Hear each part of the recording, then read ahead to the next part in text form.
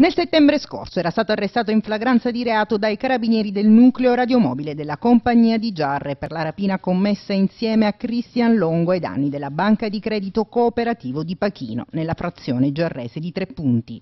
Ma il 22enne Francesco Glauco Cosentino, residente a Mascali, sarebbe anche uno degli autori del colpo commesso lo scorso 5 giugno a Giarre, alla filiale della Banca Nuova. I carabinieri della locale stazione sono riusciti ad identificarlo grazie all'attenta analisi delle immagini registrate registrate dal sistema di videosorveglianza installato nell'istituto di credito.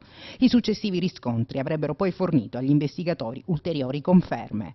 Il 22enne aveva fatto ingresso in banca con un complice a viso scoperto ed armato di coltello, fuggendo dopo aver costretto sotto la minaccia dell'arma uno dei cassieri a consegnare 1000 euro in contanti. Il GIP di Catania ha condiviso le risultanze investigative mettendo un'ordinanza di custodia cautelare in carcere nei confronti del giovane accusato di rapina aggravata privata.